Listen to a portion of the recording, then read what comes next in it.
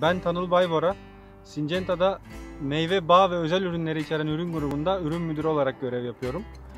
Bugün size hızlıca zeytinde yeni e, ruhsatını tamamladığımız Quadris Max isimli üründen bahsetmek istiyorum.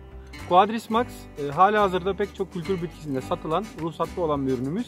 Ve bizler de e, Syngenta ekibi olarak yaptığımız araştırmalar ve pazarın ihtiyaçları doğrultusunda işte yurt dışında İtalya ve İspanya gibi önemli zeytin üretici ülkelerde kullanılıyor olmasının da destekleriyle beraber Quadris Max'ı halkalı leke hastalığına karşı siz değerli üreticilerimizin çözümüne sunma kararı aldık ve bununla ilgili eylemleri ve aksiyonları gerçekleştirdik ve süreci tamamladık.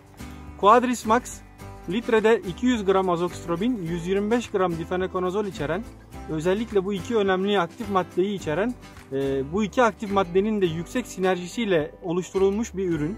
Zeytinde 100 mililitre 100, de, 100 litre dekar dozuyla halkalı leke hastalığına karşı e, ruhsatı tamamlandı ve e, sizlere çözüm olacak.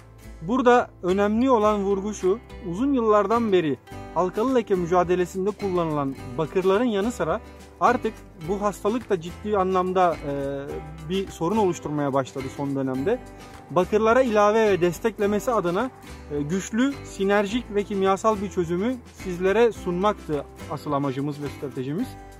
E, Quadris Max'ın lansmanını yaparken Halkalı leke hastalığı çok zor bir hastalık olmaya başladı. Özellikle bölge yani ülkemizdeki coğrafi koşullardan nem ve sıcaklığın etkileriyle beraber özellikle işte Tarım Bakanlığı'nda da biliyorsunuz 2 olan uygulama sayısı 3 e, 3 sefere yükseltildi.